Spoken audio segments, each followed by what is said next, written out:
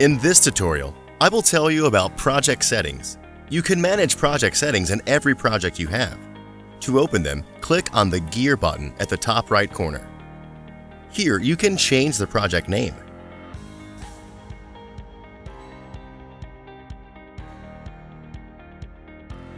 Then you see the current working week of your project. In the calendar, you can change working hours and days, as well as add exceptions, days off, holidays, shortened workdays, etc. I give more detail on how to use Project Calendar in my other tutorial. Below, you will find toggle buttons. Auto-scheduling automatically recalculates durations, start dates, and due dates when you add task dependencies. Week starts on Monday, it means that all your calendars will start on Monday. If to switch this function off, weeks will start on Sunday. Today marker. It is a red line that shows the current day. Critical path shows in the red color what tasks directly impact on project fulfillment in a timely manner. Then goes duration step. That defines how the time will be counted in your project. You can also choose the View mode. That defines the font size in your project.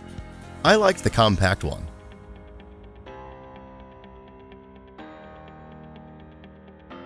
Then goes Progress that is calculated on the basis of two principles, duration or average.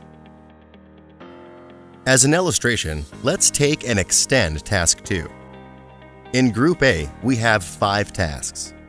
Four of them last one day each and one lasts two days. In Task 2, I set the progress at the value of 100%. Now, we deal with the progress based on the duration value.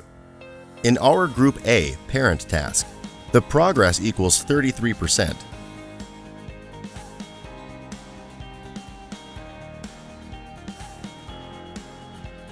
Let's change the setting for average. I open Group A again. Now, the progress equals 20% as only one out of five tasks is completed. Go back to the project settings. At the end of them, there is the used counter that shows how much of the storage space you use.